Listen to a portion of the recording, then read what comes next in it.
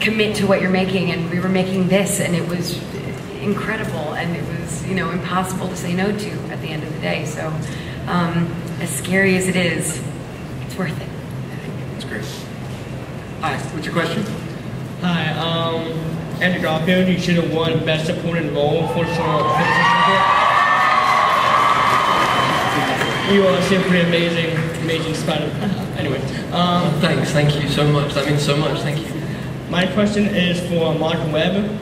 Uh, did you on purpose make this film darker than the original ones from uh, Sam Raimi?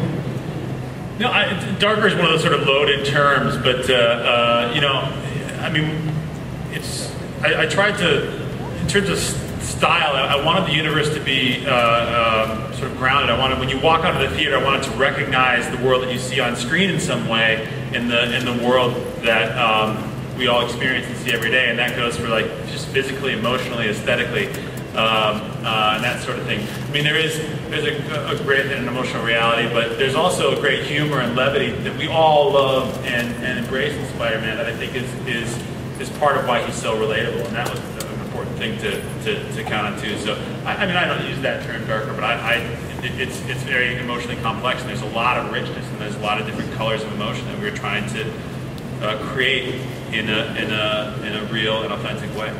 I thought the, the high school moment with, with Gwen and Peter was much lighter and much more playful and felt more like high school than anything I had seen in the Spider-Man book before. It was kind of great to, to see that side of Yeah. those characters. What was, what was great with working with uh, Andrew and Emma, they're both incredibly spontaneous actors. And they go into something, they don't ever fake anything. They just go and it feels real, and they're, that nervous quality is, is really magical. I remember we were sitting behind uh, uh, the monitor that day, and it was just like you knew something was working. You know what I mean? And it felt really authentic. And, and, and again, part of the DNA of Spider-Man to me is this sort of teenager quality. It's something that Andrew really talked about, and Gwen really, uh, Emma, uh, Emma really talked about a lot and embracing, and, and that I thought was a, a really fun component to play. Rhys, how do you go about bringing the humanity to the monster in a role like that when you're Curt Connors and the lizard?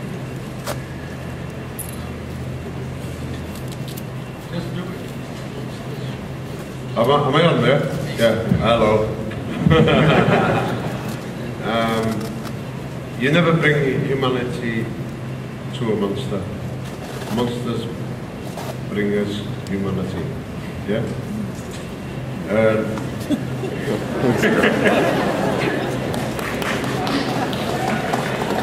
I think I answered the question, yeah? Yes, you did, yes. Given, given the response. Absolutely. What's your question? Uh, hi, I'm Caroline. My question's for Andrew and Emma. I love you guys. And I was wondering if you felt you shared any personality traits or quirks with your characters. We both just ate Hershey's Kisses. Literally just now, not outside.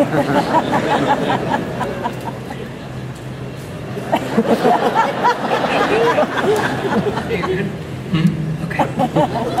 What was your question? Yeah, yeah, no, no, no, yeah, yeah. I, I, I'm, I'm, yes, yes. I've always felt, you know, I kind of said earlier, like I've, Peter Parker's always been the one fictional character, you know, along with everyone else with, with um, you know, Holden Caulfield that I, that I've, um, that I've related to as a, as a, as a, as a, as a kid growing up. And I wore my first Spider-Man suit when I was two, um, at, at my first Halloween, and, uh, and yeah, so I've, well, I've, I, across the board at every, um, generation of comics and every generation. I, I, it's always been something that's I've, I've always felt close to personally. Hi, what's your question?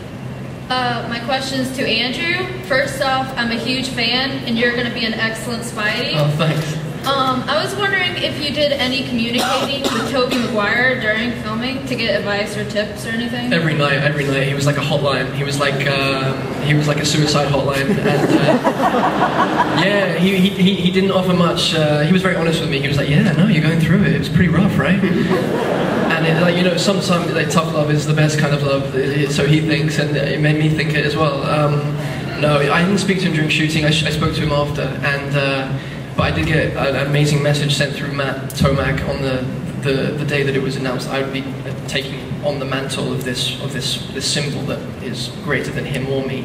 Um, and he sent he kind of gave me my his blessing, which um, he didn't have to do, and uh, I, it was you know made me feel okay about about jumping into it. And, I, and, and then I, I met him afterwards, and yeah, he's um, he's the best, right? he's the best. Yeah, Team Tobey. I'm Team Tobey personally. Me too.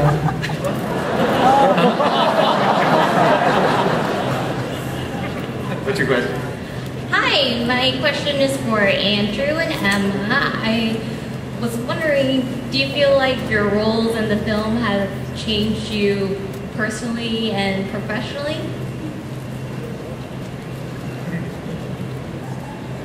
Well, I, I think any any role you're a part of kind of changes you personally a little bit. I mean, I should just speak for myself. It changes me personally a bit. You know, you're accessing different parts of yourself. What are you guys laughing at? The boys to the left of you are playing over there, I think. Ignore us, please ignore us. um, it, but yeah, so so definitely, I, I Gwen affected me, you know, in in, in many ways. Um, professionally, it's the last thing I did, so only time will tell.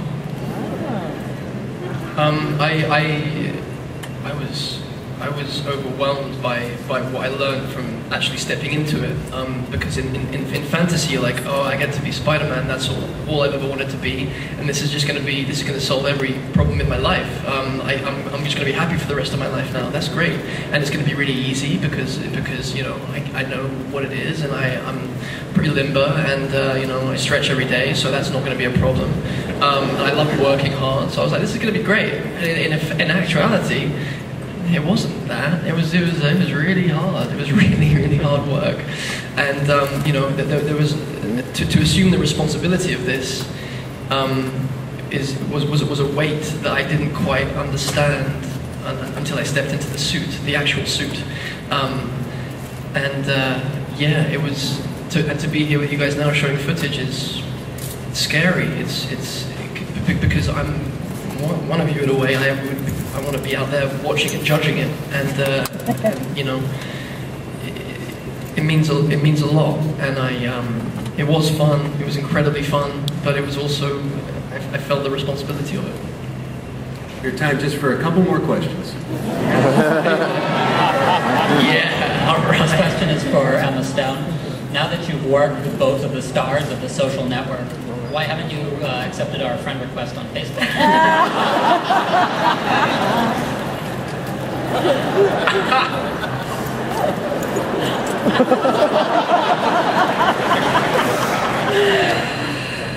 Accepted. I'm just kidding. I don't have a Facebook. Don't believe what you hear. There is no Facebook for me. But if I did, I would accept you in a heartbeat. What's your question? Hi, for Mr. Andrew Garfield, I wanted to ask, how would you compare working with filmmaking studios in London versus working with studios in Hollywood?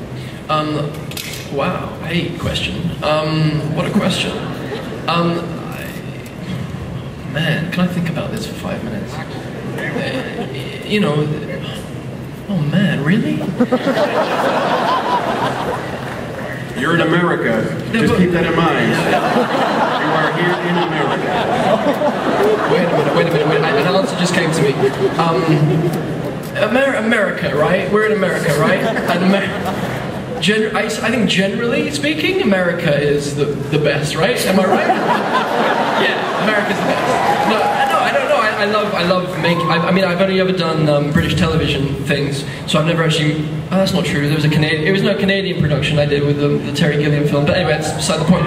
Um, yeah, so I don't know. I, I they're both. I, I've had really good times on every film I've done, and you know, the, the accents are different. Um, uh, and sometimes, uh, sometimes the food is better. Usually here. Um, yeah, American food. Yeah.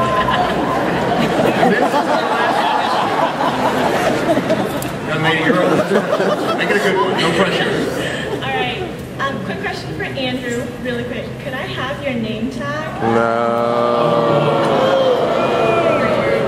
Yeah, yeah. You want you want yeah yeah that's that's oh she's getting told off. Oh no, it's fine. Yeah, she can have the name tag. It's okay. I don't need it. Yes, of course. Dude, don't give it away. Put it on Oh, eBay. name tag. I promise I have a really good one. You want this name tag? That's the one. Ask the question, and if it's good, you'll get the name tag. Okay. Um, it's for Emma and Andrew. Um, what was the journey for you guys like when, from when you heard about the movie to actually filming it? Like, was there any, like, what kind of Oh, don't boo! No, no, no, no, no, no booing, no booing, no booing. Don't boo. Come on. Her life is over. What was the question? I'm hearing about it. How much time passed from when you knew you had the role till you started working? About um, it's okay. We're gonna be fine. It was um, for me. It was about four months. I spent that time freaking out um, and uh, and and seeing friends and kind of like saying goodbye to loved ones and uh, writing writing my will and uh, um, no, I, I, had, I had a really incredible four months of training. I did a lot of training with a with a, a fantastic guy called Armando Alarcon, who, if you ever see him, punch him in the face for me because he made my life a living hell. Um, so, so there was that, and I did a lot of incre- incredible like wire work and, and trampolining, and um, a lot of sitting and thinking about about what my life was about to become. For me, it was, and it was a, it was pretty terrifying four months. And then we started filming, and it was just like being on any other film set, and it was just the greatest experience ever. Oh, his answer's so much better. Boy, I'm gonna let everybody down. Mine was well. I would just like to say that the that the journey between finding out that I was going to play Gwen Stacy, I, I beat you at this one. Finding out I was going to play Gwen Stacy to when it was announced was a minute and 30 seconds. oh. He had 30 minutes. I had a minute and 30 seconds. Um, so that was pretty wild. Um, and then the months that followed, I was finishing up a movie called The Help, and I was in Mississippi. Cool. I was in Mississippi, and so I kind of had to finish that and, and focus on that. And then um, I had about three weeks, and I was just kind of reading about Stacys and learning about Spider-Man and learning about the Marvel Universe, and then we were there on set, very, very big sound stages, um, and we shot the movie, and that was about it. See, I told you it was less exciting, and then I and I trained just so hard to look like Spider-Man. No, no one's buying that. No one's buying it. Well, we can't wait to see the final product. Thank you so much for coming and spending some time with us.